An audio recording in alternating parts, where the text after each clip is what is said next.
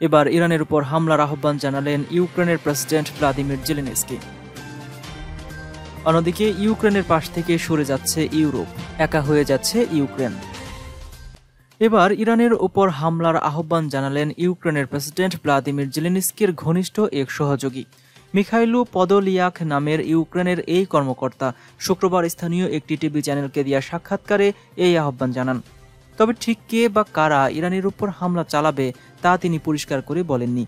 জানা গেছে, ইরানের ড্রোন এবং ক্ষেপণাস্ত্র উৎপাদনকারী কারখানার ওপর হামলা চালিয়ে তা ধ্বংস করে দেওয়ার আহ্বান জানান মিখাইলো পদলিয়াক। ইউক্রেনের যুদ্ধ শুরু হওয়ার আগে তেহরান রাশিয়াকে কিছু ড্রোন দিয়েছে বলে ইরানের পররাষ্ট্রমন্ত্রী হুসাইন আমির আবদুল্লাহিয়ান বিবৃতি দেওয়ার পর ইরানের উপর হামলার, হামলা চালানোর এই আহ্বান জানানো হলো। তিনি বলেন, আমি বিশ্বাস করি ইরানের উপর শুধু নিষেধাজ্ঞা এবং অবরোধ দিলেই চলবে না, বরং ইরানের ড্রোন এবং ক্ষেপণাস্ত্র উৎপাদনকারী কারখানার উপর হামলা চালাতে হবে। এরকম একটি দেশ বিনা শাস্তিতে পার পেতে পারে না। সাম্প্রতিক সপ্তাহগুলোতে রাশিয়া ইউক্রেনের বিরুদ্ধে নতুন ধরনের কেমিক্যাল ব্যবহার করার পর ইরানের বিরুদ্ধে রাশিয়াকে ড্রোন সরবরাহ করার অভিযোগ আসে। এই অভিযোগকে কেন্দ্র করে ইরান এবং ইউক্রেনের মধ্যে সম্পর্কের মারাত্মক অবনতি হয় এবং ইরানের সাথে সম্পর্ক অনেকটা কমিয়ে আনে কিয়েভ। অন্যদিকে দীর্ঘ আট মাস পেরিয়ে গেছে রাশিয়া ইউক্রেন যুদ্ধের।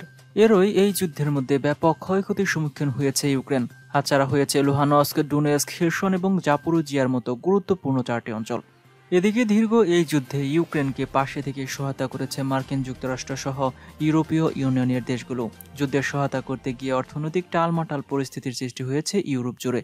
বেসামাল হয়ে পড়েছে মূল্যস্ফীতি। এমত অবস্থায় ইউক্রেনের পাশ থেকে ইউরোপে সরে যাওয়ার আশঙ্কা করা হচ্ছে। ইউরোপে শুরু হয়েছে শীতকাল। যুদ্ধের কারণে এই অঞ্চলে দেখা দিয়েছে জ্বালানি সংকট। হু হু করে বাড়ছে জিনিসপত্রের দাম। ফলে মূল্যস্ফীতি চরমে পৌঁছেছে। যুদ্ধ আরও দীর্ঘায়িত হলে এই সংকট আরও ভয়াবহ রূপ নেবে। তখন অর্থনৈতিক পরিস্থিতি আরও বেসামাল হয়ে পড়বে। এমত অবস্থায় ইউক্রেনকে সহায়তা দেওয়া বন্ধ হতে পারে ইউরোপ, বন্ধ করে দিতে পারে ইউরোপ এমনই আশঙ্কা করা হচ্ছে। প্রতিবেদনে বলা হয়েছে, ইউরোপ অনেকটাই রাশিয়ার জ্বালানি সম্পত্তির উপর নির্ভরশীল। ফলে ইউক্রেন যুদ্ধ শুরুর পর রাশিয়ার উপর বিপুল নিষেধাজ্ঞা জারি সত্ত্বেও দেশটিকে দমন করা যায়নি। আর ইউরোপের এই জ্বালানি নির্ভরতার কারণেই ইউরোপের যেসব দেশ ইউক্রেনের পাশে দাঁড়িয়েছে, সেগুলোকে ধরাশায়ী করতে জ্বালানিকে অস্ত্র হিসেবে ব্যবহার করছে মস্কো।